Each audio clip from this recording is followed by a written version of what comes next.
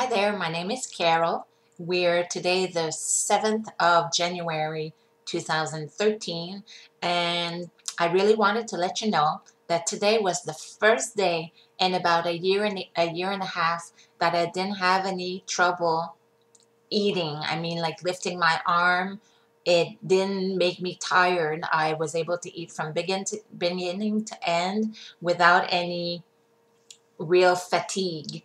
So I thought that it was a really, really important thing that I had to note and that I had to tell you because that's one of the things I really wanted to um, take care of that I really wanted to get to get better the fact that uh, I was getting so tired when I was eating so I'm very happy to see this uh, this great improvement and I'm looking forward to let you know about uh, my other improvements. So take care. Bye-bye.